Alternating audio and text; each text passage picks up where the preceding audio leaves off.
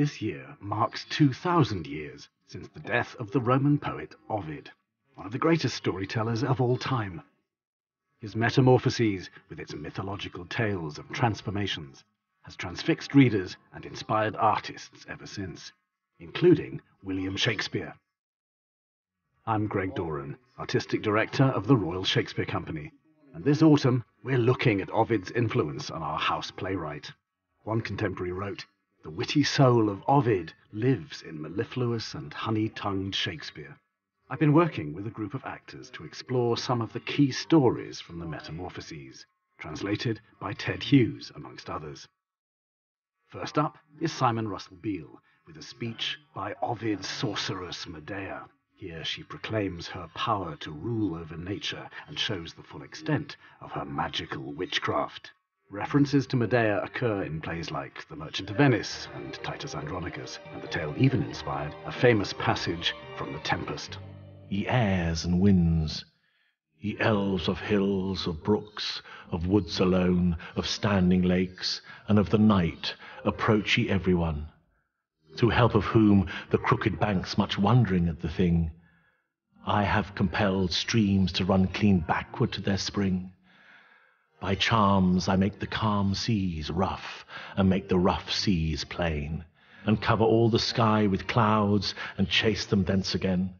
By charms I raise and lay the winds, and burst the viper's jaw, and from the bowels of the earth both stones and trees do draw. Whole woods and forests I remove, I make the mountains shake, and even the earth itself to groan and fearfully to quake. I call up dead men from their graves, and thee, O lightsome moon, I darken oft, though beaten brass abate thy peril soon. Our sorcery dims the morning fair, and darks the sun at noon. The flaming breath of fiery bulls ye quenched for my sake, and caused their unwieldy necks the bended yoke to take. Among the earth-bred brothers you a mortal war did set, and brought asleep the dragon fell, whose eyes were never shut. There is, right at the end of Shakespeare's career, in the last solely authored play, The, the Tempest, there is a very, very direct borrowing from Ovid. In fact, it's from Medea. And I remember us, when we were rehearsing The Tempest last year, reading that um, and it being a bit of a surprise. Yeah. Ye elves of hills, brooks, standing lakes and groves.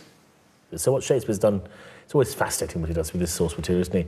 He's sort of smooth the argument so it has a, a good, wonderful, Porsche-like Rolls-Royce acceleration through the speech. Of course, the two most, or three most, four most famous lines in the speech are in fact entirely Shakespeare's invention, which is when uh, Prospero breaks his staff and gives up his powers. But it means that the speech has a different, has a regret about it, has a self-congratulatory element, of course, but it's also about what I did in the past and what I'm now going to give up, which is a whole different tone to Medea thundering against, uh, you know, flexing her muscles against her own miserable situation. But this rough magic, I hear abjure. And when I have required some heavenly music, which even now I do to work mine end upon their senses that this airy charm is for, I'll break my staff.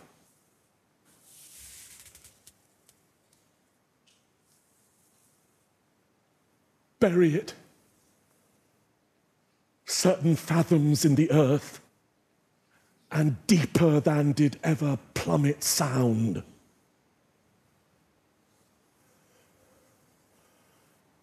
I'll drown my book. I mean, it's a wonderful speech, and I enjoy playing it, as you know, more than I can say. One of the most heartbreaking stories from the Metamorphoses is the tale of Proserpina. While gathering flowers one day, she's snatched away by the Lord of Hell to be his wife in the underworld. As Hannah Morrish here narrates, from the peerless translation by Ted Hughes, Proserpina's mother Ceres, the goddess of the harvest, tries to rescue her, but the young girl's simple act of eating a pomegranate traps her in hell for half the year.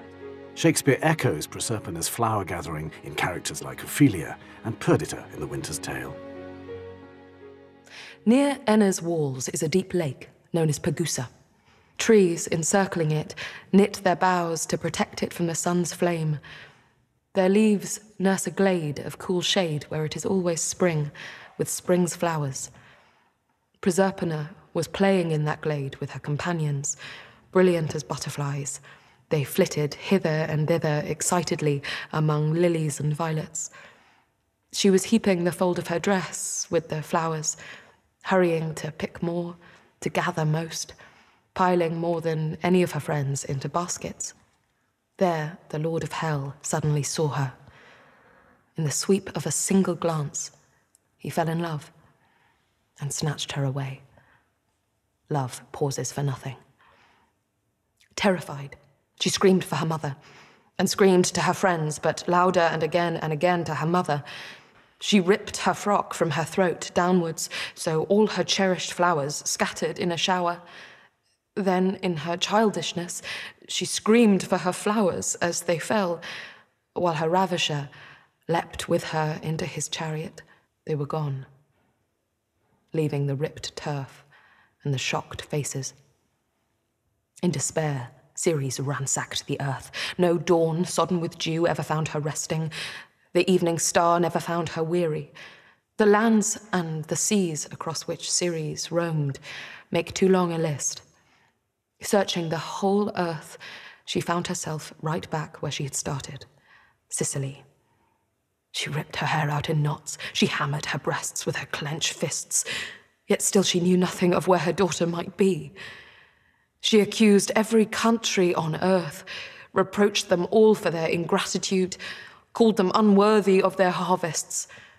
Then Arethusa, the nymph that Alpheus loved, lifted her head from her pool, swept back her streaming hair, and called to Ceres, Great mother of earth's harvests, you who have searched through the whole world for your vanished daughter, you have labored enough, but have raged too much against the earth, which was always loyal to you.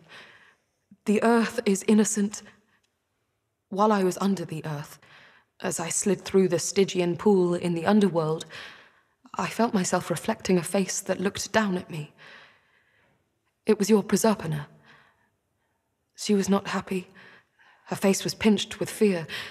Nevertheless, she was a great queen, the greatest in that kingdom of spectres. She is the reigning consort of hell's tyrant. Ceres seemed to be turning to stone as she listened. For a long time, she was like stone, then her stupor was shattered by a scream of fury as she leapt into her chariot. Jupiter was astonished when she materialized in front of him, her hair one wild snarl of disarray, her face inflamed and swollen with sobbing, and her voice hacking at him, attacking. She is your daughter. Not only mine, but yours too. You have to do something.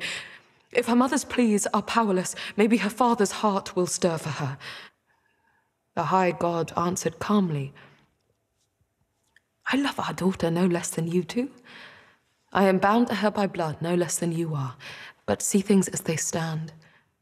Let your words fit the facts. Is this a theft or an act of love? Once you accept him, this is a son in law to be proud of. Even if he were worthless, he is still the brother of Jupiter. As it is, in everything he is my equal only not so lucky in the lottery that gave heaven to me and hell to him. Still, if you are determined to take her from him, you can have her, but on one condition. The sole condition, fixed by the fates, is this she can return to heaven on condition, hear me, on condition, that she never tasted hell's food. Jupiter finished, and Ceres was away to collect her daughter. But the fates stopped her Proserpina had eaten something.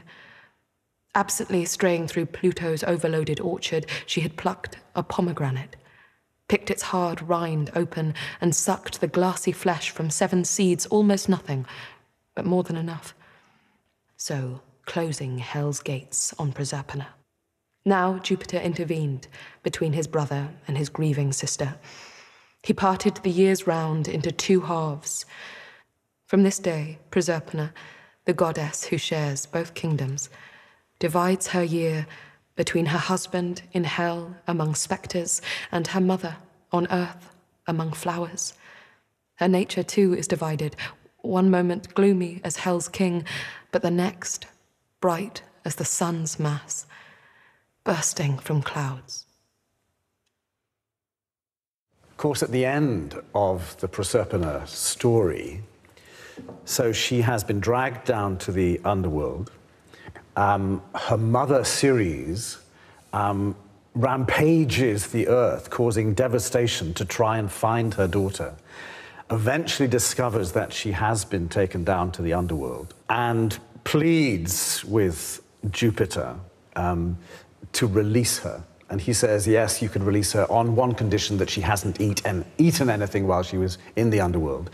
And lo and behold, we discover that she's had seven pips, seven little seeds from a pomegranate. Um, and therefore, she can't come back. But the, the deal is made that she can come back for six months of the year. Six months she has to spend in winter, in her gloom, and six months she can spend in the flowery summer when her whole personality changes. It makes her quite schizophrenic as a personality. It's the worst custody settlement of all time. Like the poor, this poor girl, oh, I have to go down there. I'm sorry, it was really cold down there. There's spectres and there's devils. I much prefer it at your place. You know, don't make me go, don't make me go. The most gruesome tale in the Metamorphoses must be Philomel and Tereus, about a king so overcome by lust for his wife's sister that he rapes her. With a plot that heavily influenced Titus Andronicus, a play currently in performance at the RSC, the story describes King Tereus ripping out Philomel's tongue so she can tell no one what happened, but she manages to inform her sister, the Queen Procne. And they conspire to murder the king's son Itys and serve him up to his father cooked in a pie. Anthony Byrne tells the whole story here, which will climax in the transformation of the three protagonists, Tereus, Philomel, and Procne, into birds. When Tereus, the great king of Thrace, married Procne and begot Itys, Procne spoke to her husband, stroking his face. If you love me, give me the perfect gift, a sight of my sister. At a command from Tereus, oar and sail brought him to Athens. Tereus began to explain his unexpected arrival, how Procne longed for one glimpse of her sister.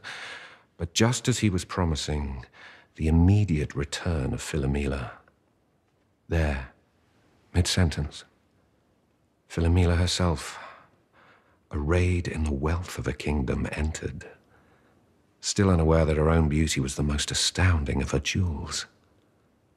Tereus felt his blood alter thickly. His first thought was simply to grab her and carry her off and fight to keep her. The sun went down. A royal banquet glittered and steamed. The guests, replete, slept. Only the Thracian king Tereus tossed, remembering Philomela's every gesture, remembering her lips, her voice, her hair, her glances, and seeming to see every part her garments concealed, just as he wanted it. So he fed his lust and stared at the darkness. The oar was bent, and the wake broadened behind the painted ship. Philomela watched the land sinking, but Tereus laughed softly. I've won. My prayers are granted. She's mine. The moment the ship touched his own shore, Tereus lifted Philomela onto a horse and hurried her to a fort behind high walls hidden in deep forest. And there he imprisoned her, bewildered and defenseless, failing to understand anything and in a growing fear of everything, she begged him to bring her to her sister. His answer was to rape her, ignoring her screams to her father, to her sister, to the gods.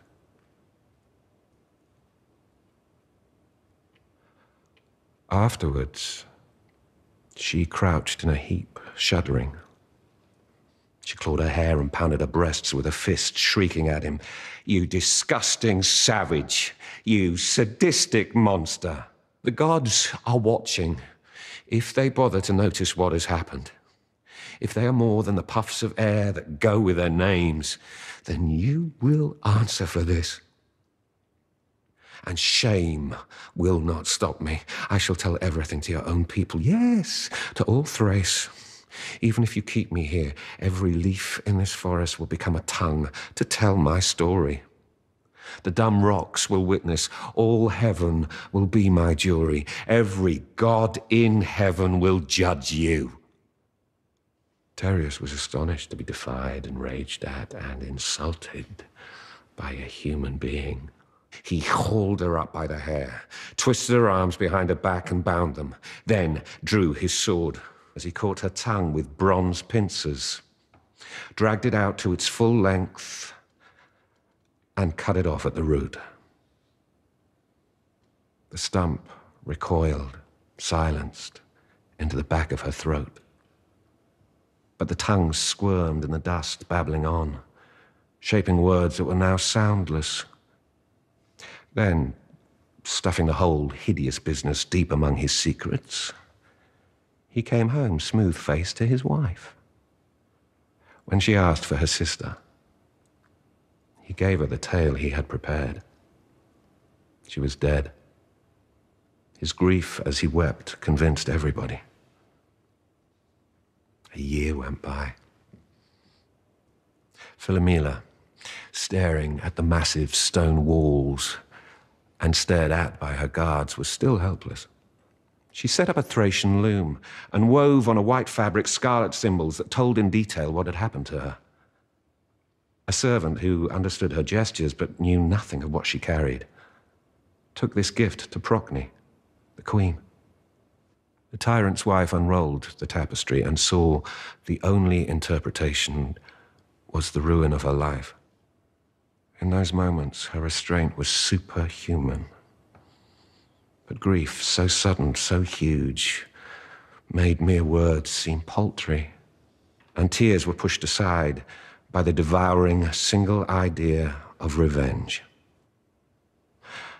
Now came the festival of Bacchus, celebrated every third year by the young women of Thrace, dressed as a worshipper. Procne joined the uproar, berserk. She hurled herself through the darkness, terrifying. So she found the hidden fort in the forest. With howls to the god, her troop tore down the gate, and Procne freed her sister, disguised her as a Bacchante, and brought her home to the palace. She was out of her mind with anger.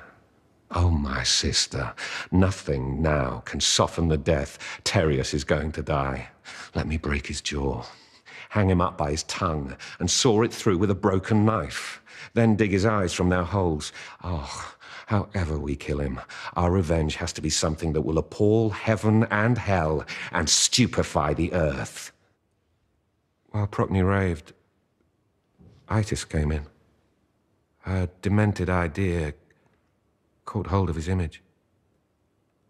The double of his father, she whispered.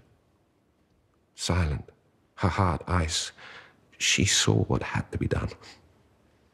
Nevertheless, as he ran to her, calling to her,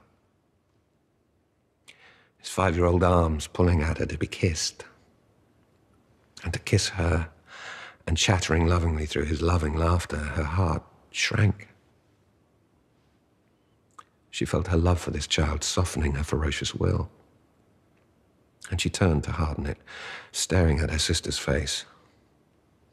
Then looked back at Itys and again at her sister, crying, He tells me all his love, but she has no tongue to utter a word of hers. He can call me mother, but she cannot call me sister. Catching Itys by the arm, she gave herself no more time to weaken. He saw what was coming. He tried to clasp her neck, screaming, Mama, Mama but staring into his face, Procne pushed a sword through his chest. Then, though that wound was fatal enough, slashed his throat. Now the two sisters ripped the hot little body into pulsating gobbets. The room was awash with blood as they cooked his remains. A feast followed. Procne invited one guest only her husband. Tereus, ignorant and happy, lolled on the throne of his ancestors and swallowed with smiles all his posterity as Procne served it up. He was so happy he called for his son to join him. Where's Itys? Bring him. Procne could not restrain herself any longer. Your son, she said, is here already. He's here, inside. He could not be closer to you. Tereus was mystified. He suspected some joke. Perhaps Itys was hiding under his throne. Itys, he called again, come out, show yourself. The doors banged wide open. Philomela burst into the throne room, her hair and gown bloody. She rushed forward, and her dismembering hands, red to the elbows, jammed into the face of Tereus a crimson dripping ball. The head of Itys. He tugged at his rib cage as if he might rive himself open to empty out what he had eaten. He staggered about, sobbing that he was the tomb of his boy then gripped his sword hilt and steadied himself. As he saw the sisters running, he came after them, and they who had been running seemed to be flying. And suddenly they were flying. And Tereus, charging blind in his delirium of grief and vengeance, no longer caring what happened, he too was suddenly flying. On his head and shoulders, a crest of feathers. Instead of a sword, a long curved beak, like a warrior transfigured with battle frenzy, dashing into battle. He had become a hoopoe. Philomela mourned in the forest, a nightingale. Procne lamented round and round the palace, a swallow both you are currently in Titus Andronicus. It's, it must have been quite interesting seeing just how closely um, the, the, the, story reflects the play. There is something about the, the language of it and the words that he uses and the, possibly it is the Ovid as well as Ted Hughes, but the getting inside the mind of Procne, mm. the rage, and inside the, the terror of Philomel. I just I couldn't stop crying. It's such it's such an amazing story. What Shakespeare doesn't do that Ovid does is allow the metamorphosis of Lavinia uh, that Philomel has. She is able to release from her suffering and her pain through becoming a, a, a nightingale and having that sort of transcendence. Titus Andronicus really pushes it, doesn't it? A, a, a, girl is raped, she has her hands cut off, she has her tongue cut out. That, that's pretty extreme. Have you, have you encountered responses of, um, from the audience? Yeah, I spoke to a, a group of American students who were really disconcerted that there weren't any trigger warnings. And I didn't know what they meant. And they had to explain to me now that uh, is this right for, for live theatre and movies in the States? There is a warning before you go in, explicitly saying there are things that will happen in this thematically which might trigger an uncomfortable emotional response in you. In, in, in 2015, students at the University of Columbia petitioned the staff, um, apparently, that certain stories should be prefaced with, and these were Ovid's metamorphoses, so it, and Tereus and Philomel was one of them, that there should be a trigger warning alerting readers who might be disturbed by their violent sexual content. Mm. Um, it's interesting, isn't it, that, that, that, that, Ovid has that power in the, the yeah. 21st century. Yeah. Ovid's Metamorphoses have offered inspiration to some of the greatest artists in history, perhaps most memorably with the story of the hunter Actaeon, depicted in the vivid canvases of Titian. As Alex Waldmann reveals here, after accidentally catching sight of the goddess of the hunt, Diana, naked at her bath, Actaeon is transformed into a stag and devoured by his own hounds, a fate Shakespeare alludes to in passages from Twelfth Night and The Merry Wives of Windsor. Destiny, not guilt, was enough for Actaeon. There's no crime to lose your way in a dark wood. It happened on a mountain where hunters had slaughtered so many animals, the slopes were patched red with the butchering places. When shadows were shortest and the sun's heat hardest, young Actaeon called a halt. We have killed more than enough for the day. All concurred, and the hunt was over for the day. A deep cleft at the bottom of the mountain, dark with matted pine and spiky cypress, was known as Gargaphie, sacred to Diana, goddess of the hunt. Often to that grotto, aching and burning from her hunting, Diana came to cool the naked beauty she hid from the world. The goddess was there, in her secret pool, naked and bowed under those cascades from the mouths of jars in the fastness of Gargaphie, when Actaeon, making a beeline home from the hunt, stumbled on this gorge. Surprised to find it, he pushed into it, apprehensive but steered by a pitiless fate, whose nudgings he felt only as surges of curiosity. So he came to the clearing. He peered into the gloom to see the waterfall. But what he saw were nymphs, their wild faces screaming at him in a commotion of water. And as his eyes adjusted, he saw they were naked, beating their breasts as they screamed at him. And he saw they were crowding together to hide something from him. He stared harder. Those nymphs could not conceal Diana's whiteness. The tallest barely reached her navel. Actaeon stared at the goddess, who stared at him. She twisted her breasts away, showing him her back, glaring at him over her shoulder. She blushed like a dawn cloud in that twilight grotto of winking reflections and raged for a weapon, for her arrows to dry through his body. No weapon was to hand, only water, so she scooped up a handful and dashed it into his astonished eyes as she shouted, Now, if you can, tell how you saw me naked. That was all she said. But as she said it, out of his forehead burst a rack of antlers.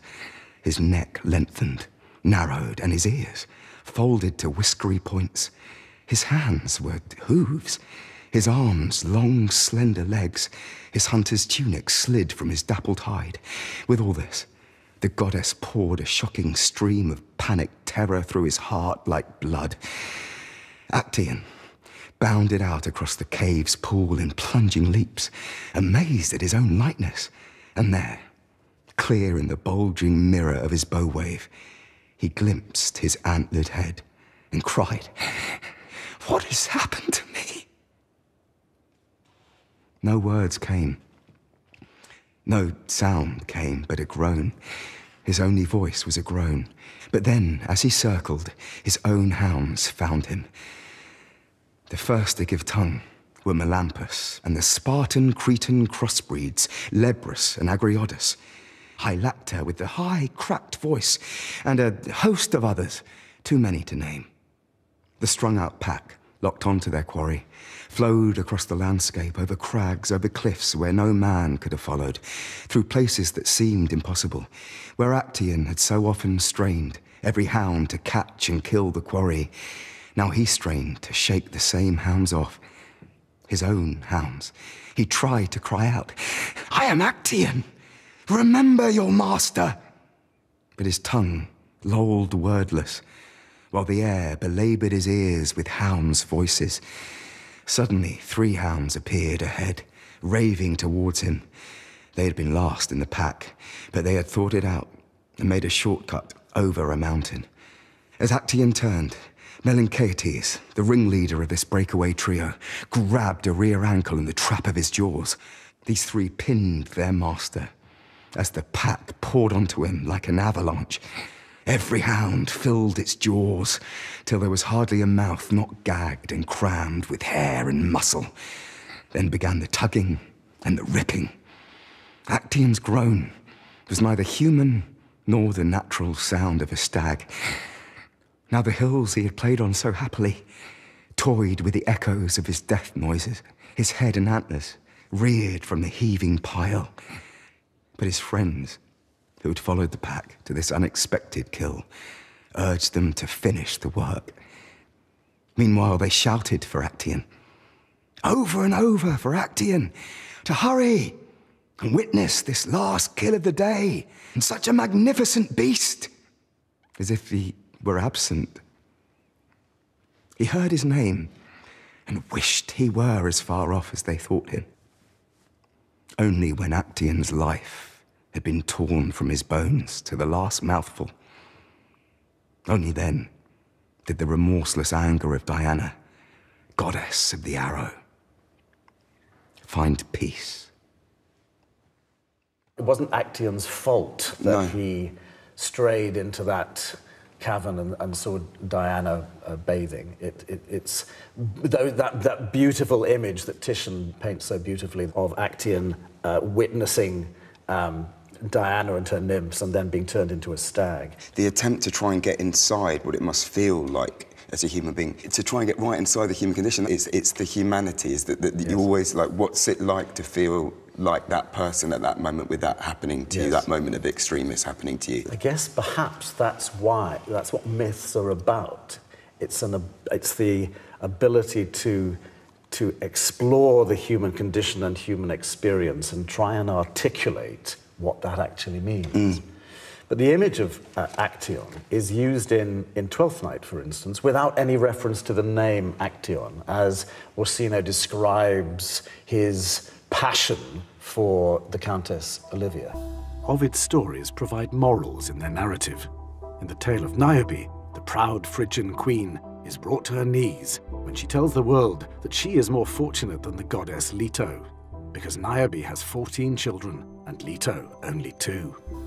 In Nia Gwynne's telling of the tale here, we see that once Leto has effected the destruction of Niobe's entire family, the grief of the bereaved queen is so great that she is transformed into a weeping mountain, all tears, as Hamlet says, forevermore. Niobe was proud. She was proud of the magical powers of her husband, Amphion, the king. Her greatest pride was her family, her 14 children. And it is true, Niobe of all mothers would have been the most blessed if only she had not boasted that she of all mothers was the most blessed. She looked magnificent, like a great flame in her robes of golden tissue. She reared her spectacular head, her hair coiled and piled like a serpent asleep on a heap of jewels. All Phrygia kneels and pays homage to me. Wherever my eyes rest in my house, they rest on fabulous wealth. Nor can it be denied. My own beauty is not equaled on any face in heaven. Tell me, how can I fear ill fortune? Even if it came to the worst, if I lost some of my children, I could never be left with only two. Only two! Two is all that Leto ever had. Two children, you might as well have none. Get rid of these laurels. Back to your homes. Finish with this nonsense. Finish, I say. Leto was enraged. She climbed to the top of Cynthus and cried out to her children, the twins, none other than Apollo and Diana, so lightly dismissed by the Phrygian queen. Your mother is calling you, she cried. Your mother, who is so proud of being your mother. In heaven, I take second place to none except Juno herself. Your mother's divinity is being denied. The daughter of Tantalus has inherited all her father's blasphemous folly. She has not only emptied my temples, she drives me mad with insults, derision, and tells the whole world her 14 children are a thousand times superior to my two. Compared to her, I am childless. Oh, my children, double her mockery back into her mouth. Let her swallow its meaning. Leto would have gone on, but her great son, Apollo, spoke. Mother, your words merely prolong Niobe's delusion. He exchanged a signal with his sister. Together they sailed through the sky like an eclipse in a cloud till they hung over the city of Cadmus. Outside the city, a broad plain smoked like a burning ground. Niobe's sons were out there, astride gaudy saddlecloths. Ismenus, Niobe's eldest, was reining his horse hard, bringing it round in a tight circle, when his spine snapped, and a bellow forced his mouth open as a broad headed, bright red arrow came clean through him. The reins fell loose. For a moment, he embraced the horse's neck limply, then slid from its right shoulder. Ilioneus was last. He dropped to his knees and lifted his arms. You gods, he cried. All of you, hear me, spare me, protect me. But the wound was instantly fatal, surgical, precise, minimal. It stopped his heart before he felt the impact. Now the news came looking for Niobe. Rumour, like an electrical storm wind whisking at the street corners, people huddling together, then scattering in an uproar of wails, till at last her own family burst in on her, shrieking. This was no longer Niobe the queen, who had driven her people as with a whip from Leto's altars. Now even those who hated her pitied her. She bowed over the cooling bodies of her sons. She kissed them as if she could give them a lifetime of kisses in these moments. She lifted her bruised arms. Leto, she cried, feast yourself on your triumph, which is my misery. I have died seven deaths at your hands. In each of these seven corpses, I died in agony and lie dead, gloat and exult. And yet, your victory is petty Though you have crushed me, I'm still far, far more fortunate than you are. I still have seven children. And even as she spoke, terror struck with an invisible arrow. The seven sisters of the dead brothers stooped by the seven biers, loose hair over their shoulders, mourning. When six of them lay dead, Niobe grabbed the seventh and covered her with her limbs and body and tried to protect her in swathes of her robes, crying, Leave me my youngest. Leave me one. Leave me the smallest of all my children. Let me keep this one. But a slender arrow had already located the child she tried to hide and pray for. Niobe gazed at the corpses. All her children were dead. Her face hardened and whitened as the blood left it, her very hair hardened like hair carved by a chisel. Her open eyes became stones, her whole body a stone. Life drained from every part of it, her tongue solidified in her stone mouth. Her feet could not move, her hands could not move, they were stone, all stone, packed in stone. And yet, this stone woman wept. A hurricane caught her up and carried her into Phrygia, her homeland, and set her down on top of a mountain. And there, a monument to herself, Niobe still weeps. As the weather wears at her, her stone shape weeps. In the story, she's not exactly the most sympathetic character, is she? no, she's not. And, and Niobe's crime is that she's proud and, and she boasts quite willingly uh, her pride and thus angers the goddess. And she has 14 children, seven of each, and she's extremely proud of them. And she rather lamentably says, I'm so fortunate, I have so much, and that fate could never touch me. Even if fate took from me most of my children. I could never be only left with two. Two is a, a pathetic amount of children to have, like Leto. And Leto just happens to have two rather good. And Leto's two children are Apollo and Artemis. yeah, and, and so it's about it's the wrong call to make, really. And She's the tiger mum from Hell. yeah. and as a consequence, her 14 children are executed by Apollo, and her grief is such that she then metamorphoses into a, a, a mountain, and yet her grief is such that the, even the mountain weeps. It, it kind of goes beyond 3D. It's sort of, you know, you know, there's a sort of depth to it. It's almost, all of a sudden you see Niobe kind of coming up and being there, and the history of that story is alive to you as an audience, you know. No tale of Ovid's has permeated modern culture more than Echo and Narcissus, which reverberates throughout Twelfth Night and Romeo and Juliet, and has given us the term narcissism. Here, Fiona Shaw delivers Ted Hughes' version of this devastating story of the unrequited love of a nymph for a beautiful young man.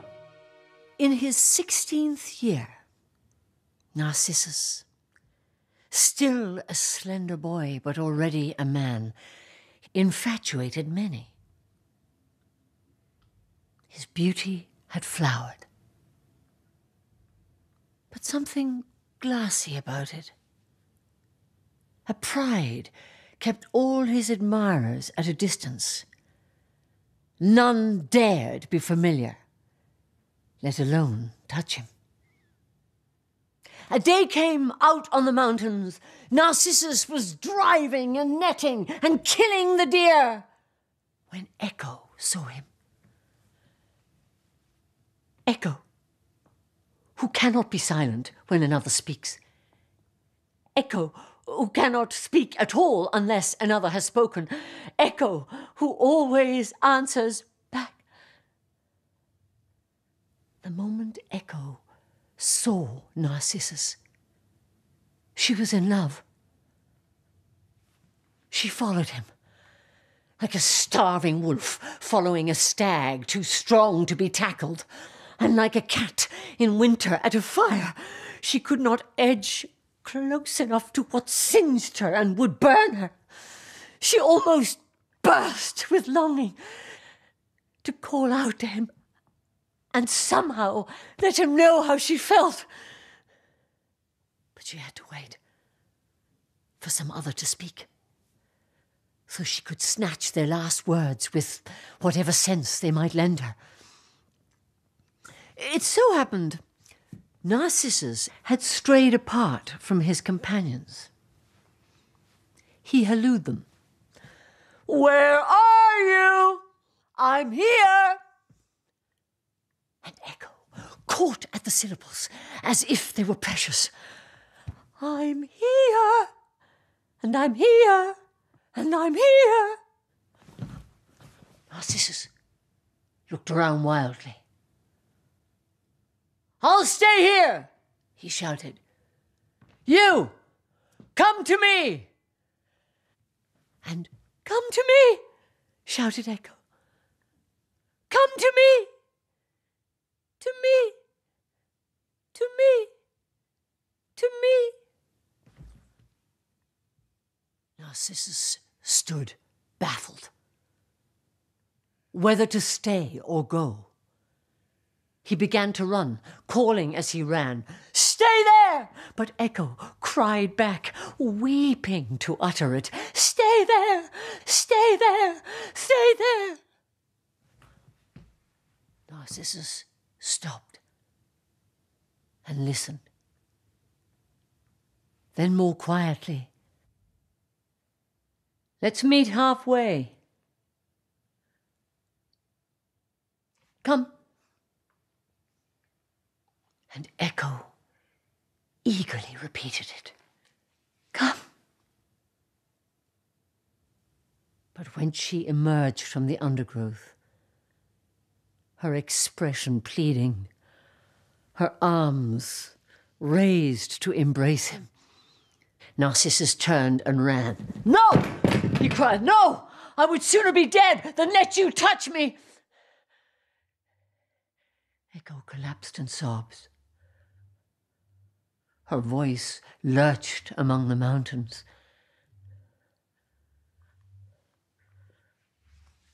Touch me. Touch me. Touch me. Touch me. Touch me. I had a poster of Narcissus and Echo in my bedroom, one of those pre Raphaelite posters, and I, I recently saw it again. I thought, my God, that must have been in my mind since I was a teenager. I think Ovid is doing what all great writers do. I don't think there's anyone who hasn't got Narcissus in him or her. And there's probably no one who hasn't got Echo in him or her. It's about the capacity of the human mind to either be um, full of self love or, or to chase somebody who's out of reach. So they're, they're both fantastic aspects of the human consciousness. I was interested in it because I thought it was about reply that um, it's very good. Yeats does a lot of poems uh, where there's somebody speaking to somebody else and somebody in reply. And in that way, it goes back earlier than the Romans to the Greeks, really, that somehow truth lies somewhere between the two people responding. It's neither, they're not goodies and baddies. Everyone is merely a point of view. Perhaps the greatest set piece of the Metamorphoses is the tale of Phaeton, who longs to drive the chariot of his father, the sun god Phoebus, as it plots its course across the sky. As our group tells the story here, despite Phaeton's father begging him not to go, the impetuous son sets out, only to create a cataclysm of global proportions. Phaeton's tragic story haunts the imagination of Shakespeare's King Richard II and the 14-year-old Juliet. When Phaeton bragged about his father, Phoebus, the sun god, his friends mocked him. Your mother must be crazy. Or you're crazy to believe her. How could the son be anyone's father? In a rage of humiliation, Phaeton came to his mother, Climene. They're all laughing at me, and I can't answer. What can I say? It's horrible. I, I have to stand like a dumb fool and be laughed at. If it's true, mother, he cried, if the sun, the high god Phoebus, if he is my father, give me proof. Give me evidence that I belong to heaven. Then he embraced her. Either moved by her child's distress or piqued to defend her honour against the old rumour, Climene responded. She stretched her arms to the sun. I swear you are his child. You are the son of that great star which lights up the whole world. If I lie, then I pray to go blind this moment and never again to see the light of day. Phaeton rushed out, his head ablaze with the idea of heaven. He crossed his own land and came to his father's dawn palace. He went straight into the royal presence, but had to stand back. The huge light was so fierce, he could not go near it. For there was the god. Phoebus, the sun, robed in purple and sitting on a throne of emeralds that blazed, splitting and refracting his flames. The boy stared, dumbfounded, dazed by the marvel of it all. Then the great god turned on him the gaze that misses nothing and spoke. Phaeton, my son. Yes, I call you my child. Or rather, a man a father might be proud of. Why are you here? You must have come with a purpose. What is it? Phaeton replied, Oh God, oh light of creation, oh Phoebus, my father, if I may call you father, if Climene is not protecting herself from some shame by claiming your name for me, give me the solid proof. Let it be known to the whole world that I am your son. Remove all doubt. His father doffed his crown of blinding light and, beckoning Phaeton closer, embraced him. Do not fear to call me father. Your mother told you the truth. To free yourself from doubt, ask me for something. Anything. I promise you shall have it. And though I've never seen the lake in hell by which we gods in heaven make our oaths inviolable, call on that lake now to witness this oath of mine. Phoebus had barely finished before Phaeton asked for the chariot of the sun and one whole day driving the winged horses. His father recoiled. He almost cursed his own oath. His head shook as if it were trying to break its promise. Your foolish words, he said, show me the tragic folly of mine. If promises could be broken, I would break this. I would deny you nothing except this. No mortal could hope to manage those reins. Not even the gods are allowed to touch them. Only see how foolish you are. The most conceited of the gods knows better than to dream he could survive one day riding the burning axle tree. Even for me, it's not easy. Once they're fired up with the terrible burners that they stoke in their deep chests and that belch flames from their mouths and nostrils, once their blood is up, they will hardly obey me. And they know me. Think again. Do not ask me for what will destroy you. You ask me for solid proof that you are my son. My fears for your life are proof solid enough. Look at me. If only your eyes could see through to my heart and see it sick with a father's distress. Choose anything else in creation. It's yours. But this one thing you have chosen, I dare not grant it. Choose again, Phaeton. Phaeton seemed not to have heard.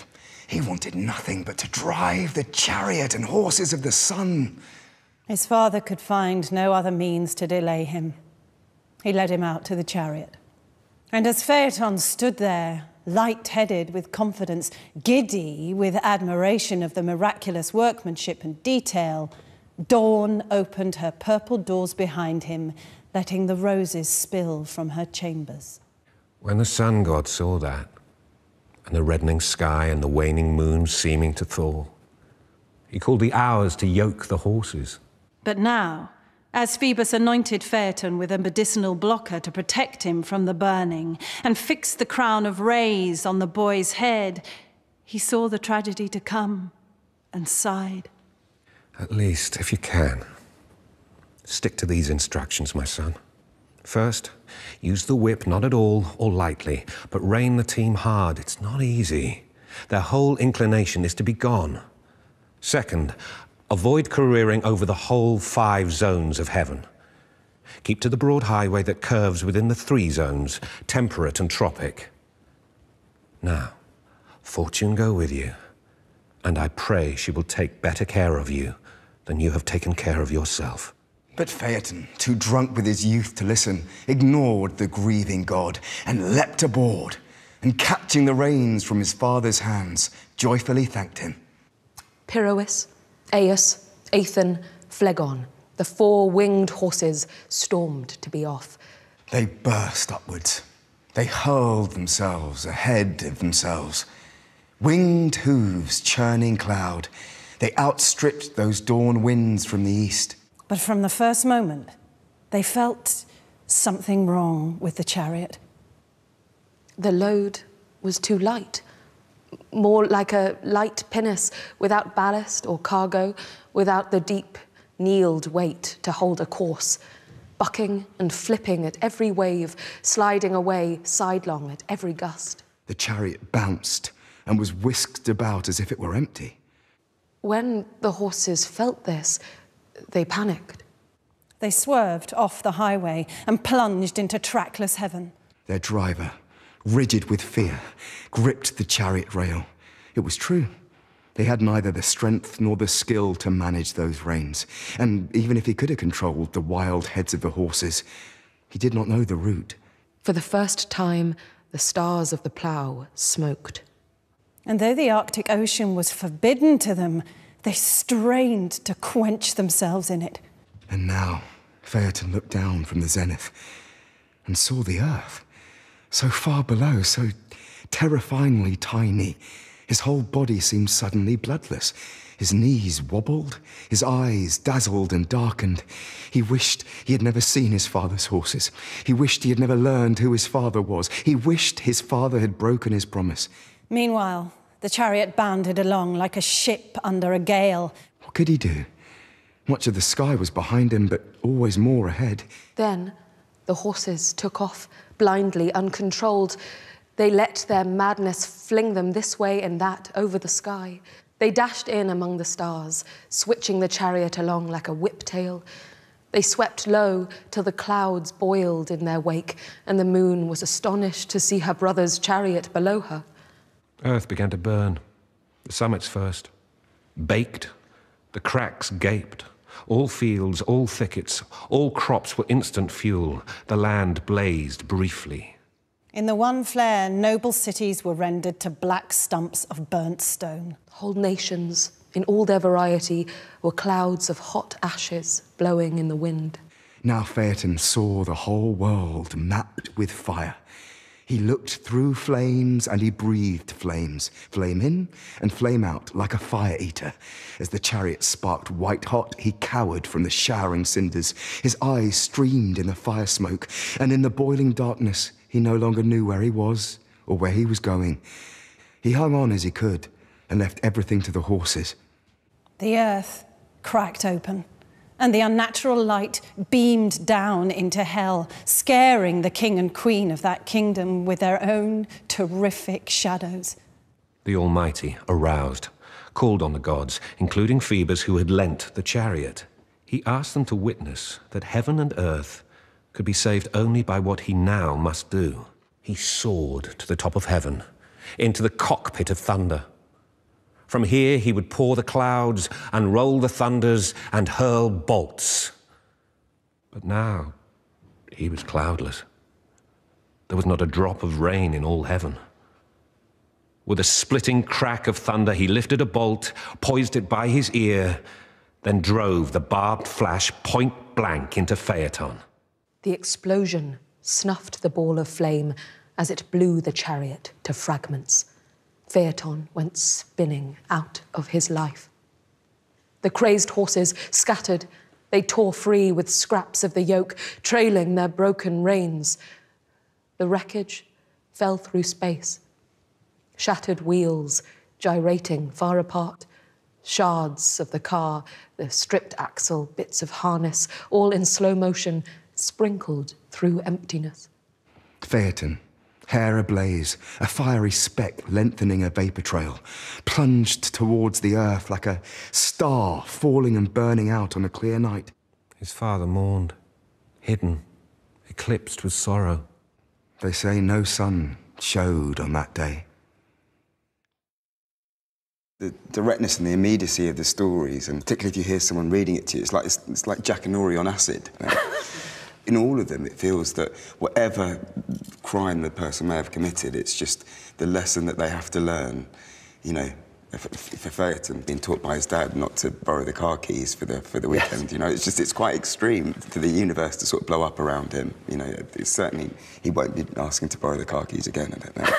There's a lovely quote that um, Ted Hughes himself said about what, why Shakespeare and, uh, and Ovid uh, have kind of parallels. He said that both of them were interested in passion, or rather in what a, a passion feels like to one possessed by it.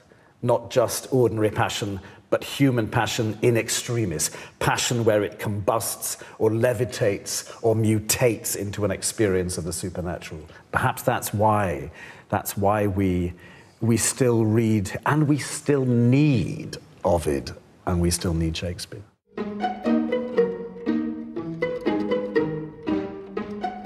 And from Radio 3, three short plays exploring contemporary life in Russia. Fear and Loathing in Russia Today is available now.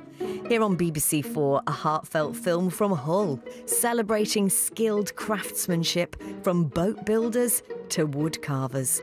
It's handmade in Hull next.